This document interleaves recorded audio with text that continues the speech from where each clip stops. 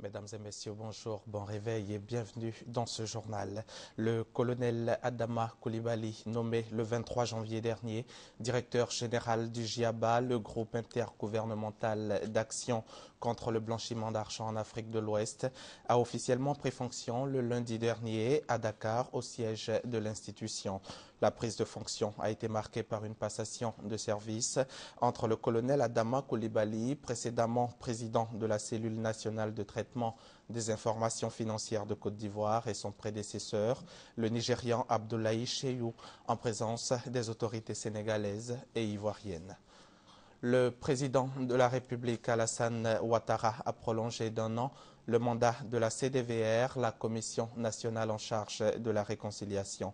Mise en place en 2011 après les violences post-électorales, la Commission Dialogue, Vérité et Réconciliation, dont le mandat avait expiré le 28 septembre 2013 se voit donc accorder un nouveau délai de 12 mois à compter de cette date pour accomplir ses missions, selon les termes d'une ordonnance présidentielle signée lundi.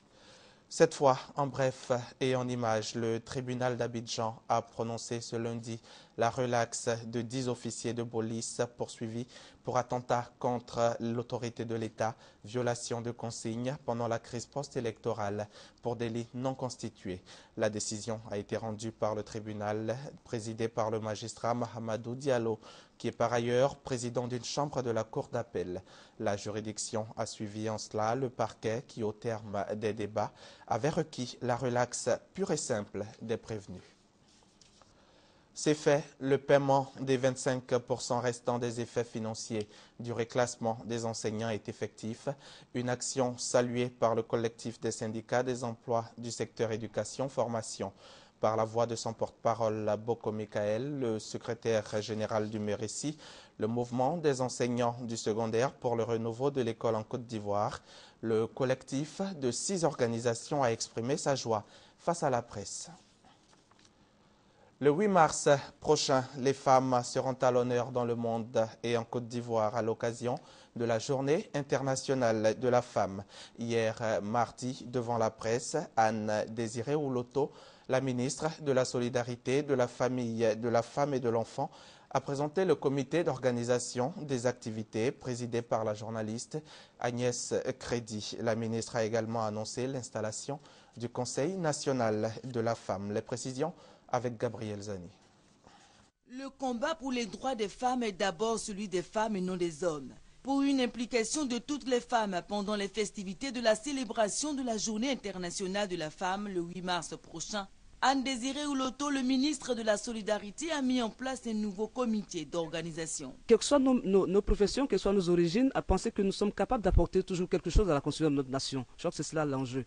Les festivités seront lancées le 6 février. Elles s'annoncent grandioses et innovantes avec des conférences, des expositions ventes et surtout l'installation du Conseil national de la femme le jeudi 27 février. Le Conseil national de la femme a été institué par décret pris en Conseil des ministres depuis plusieurs années et le gouvernement, cette année, met un point d'honneur, n'est-ce pas, à faire en sorte que cet objectif devienne une réalité. C'est la ville de Grand Bassam qui a été choisie pour abriter les festivités en raison de son passé et de la marche historique des femmes sur la prison coloniale. Cette première journée que j'ai eu personnellement organisée dans le département de Touba a été donc l'occasion pour euh, Madame la Première Dame de soutenir les femmes. Il en sera de même pour nos sœurs de Grand Bassam. Chaque année, la journée de la femme donne l'opportunité de passer en revue les problématiques qui se posent aux femmes, violences sexuelles, mortalité maternelle, féminisation du VIH-Sida. Pour cette édition, l'État a décidé de mettre l'accent sur le travail des femmes pour montrer leur implication dans l'atteinte des objectifs du millénaire pour le développement dans notre pays. Après Washington qui était monté au créneau vendredi dernier, la France a décidé de hausser le temps dans le dossier des armes chimiques détenues par la Syrie. Hier mardi, Laurent Fabius, le ministre français des Affaires étrangères, a reproché à Damas de freiner sur la destruction de ces armes, alors même que le gouvernement syrien doit se conformer à l'accord conclu en septembre dernier. Selon des chiffres révélés par la France et par les États-Unis, seuls 5% des armes chimiques syriennes ont quitté le territoire à ce jour, alors que la totalité devrait être sortie du pays avant le ce, 5, ce mercredi 5 février. Je vous conduis maintenant en Guinée pour parler d'économie. L'Union européenne signe son grand retour dans le pays. C'est une véritable bouffée d'oxygène pour l'économie guinéenne, à bout de souffle depuis un peu plus de 5 ans. Les 140 millions d'euros débloqués par la Commission européenne visent à soutenir le développement dans le pays. La plus grosse partie de l'enveloppe, à savoir 83 millions d'euros, est consacrée à la réalisation d'infrastructures routières. L'objectif, c'est de désenclaver les zones de production, une des priorités du nouveau gouvernement guinéen. L'État a l'obligation d'investir et de réaliser les infrastructures de base que sont, entre autres, les voies de communication fiables, l'énergie électrique nécessaire aux activités de production, ainsi que le soutien au secteur agricole, sanitaire et scolaire. Le déblocage des fonds par Bruxelles marque la reprise complète de sa coopération avec Conakry. Cette reprise intervient quatre mois après les élections législatives, un scrutin dont l'Union européenne avait fait du bon déroulement la condition sine qua non pour son retour en Guinée. Avec la finalisation de la transition couronnée par l'organisation des élections législatives, nous avons signé la reprise totale avec l'Union européenne. L'Union européenne avait gelé sa coopération avec la Guinée fin 2008 suite au coup d'État du capitaine Moussa Dadis Camara qui avait ordonné dans la foulée la dissolution de l'Assemblée nationale. La reprise de cette coopération est sans doute un succès politique pour le chef de l'État Alpha Condé à un peu plus d'un an et demi de l'élection présidentielle. Une loi d'amnistie pour faits de guerre et infractions politiques destinée aux combattants de groupes rebelles, notamment du M23, mais pas seulement, a été adoptée ce mardi, ce mardi 4 février par l'Assemblée nationale. Voilà quatre mois que la République démocratique du Congo était engagée à l'adopter. Désormais, c'est fait. Il appartient maintenant au président Joseph Kabila de la promulguer. Une loi qui a suscité de vifs débats entre le pouvoir et l'opposition jusqu'à la dernière minute. Hier également, mardi 4 février, l'ancien capitaine rwandais Pascal Simbekangwa a comparu devant la cour d'assises de Paris pour le tout premier procès en France lié au génocide, 20 ans après les massacres perpétrés au Rwanda en 1994. Je vous propose qu'on se rende maintenant en Centrafrique, en Afrique du Sud et au Togo. La situation sécuritaire à Bangui s'est progressivement améliorée, malgré des explosions de violence sporadiques et des règlements de comptes quotidiens entre chrétiens et musulmans.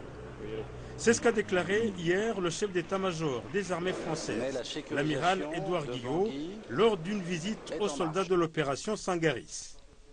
L'amiral reconnaît toutefois que la province, où une grande partie des combattants et les cassés repliés, reste largement hors de contrôle.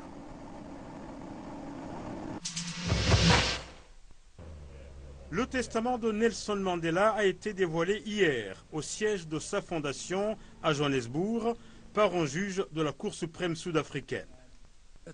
L'icône de la lutte anti-apartheid laisse une fortune de 3 millions d'euros en héritage qui sera réparti entre sa famille, son parti, le Congrès national africain, ses employés et six écoles qui lui tenaient particulièrement à cœur. Le partage de la succession a été accepté par la famille. Il n'y aurait pour l'instant aucune contestation. La police togolaise a effectué hier une nouvelle saisie de 2 tonnes d'ivoire au port de Lemay. En une semaine, les policiers togolais ont mis la main sur 4 tonnes d'ivoire dissimulées dans des conteneurs chargés de bois en partance pour le Vietnam. Un Vietnamien et deux Togolais ont été arrêtés dans le cadre de l'enquête. Le trafic d'ivoire a pris de l'ampleur ces dernières années en Afrique de l'Ouest, en raison d'une forte demande au Moyen-Orient et en Asie. Allons-y plus loin pour un tour bref de l'actualité planétaire. Première destination, l'Ukraine. En Ukraine, le président Yanukovych a fait savoir qu'il pourrait accepter la tenue d'élections législatives et présidentielles anticipées. Cette annonce intervient alors que la chef de la diplomatie européenne doit discuter à Kiev de l'aide financière que l'Union européenne et les États-Unis pourraient apporter pour aider le pays à sortir de la crise. Cette aide, non chiffrée pour le moment, dépend de l'évolution politique. De l'avis de diplomates occidentaux, elle risque fort de ne pas faire le poids face à la promesse de Moscou d'allouer 15 milliards de dollars de crédit et de baisser de 30% le prix du gaz russe. Au Salvador, les résultats partiels de la présidentielle confirment l'arrivée en tête du candidat de l'ex-rébellion au pouvoir. Avec 48,9% des voix, Salvador Sanchez Seren a même frôlé la victoire dès le premier tour. Le candidat du FMLN affrontera au second tour, prévu le 9 mars, Norman Quijano, le candidat du parti de droite Arena, crédité de près de 39% des suffrages. Un électeur sur deux seulement s'était déplacé dimanche, nettement moins que lors de la présidentielle de 2009. La famille de José Salvador Alvarenga est encore sous le choc. Le pêcheur salvadorien a été récupéré lundi par la police des îles Marshall dans le Pacifique Sud sur un atoll isolé où son bateau s'était échoué jeudi dernier. Le naufragé affirme avoir dérivé pendant 13 mois. Si la consommation de viande d'oiseaux crus, de sang de tortue et d'urine lui ont évité de dépérir, c'est surtout, dit-il, en rêvant d'engloutir une tortilla bien garnie et de revoir ses proches qu'il a réussi à tenir. Facebook fête son dixième anniversaire. En dix ans, le trombinoscope en ligne est devenu une entreprise mondiale qui connecte plus d'un milliard de personnes et affiche plus de 150 milliards de dollars de capitalisation boursière. En dépit des polémiques, à commencer par celle sur l'utilisation des données privées, le premier réseau social en ligne continue à s'étendre sur la toile, malgré l'apparition de plusieurs concurrents comme Twitter, Snapchat ou Instagram. C'est dans quelques jours seulement que s'ouvriront les 20e Jeux olympiques d'hiver. Depuis l'attribution en juillet 2007 de ces Jeux à la ville de Sochi, les protestations, les interrogations et diverses inquiétudes vont bon train.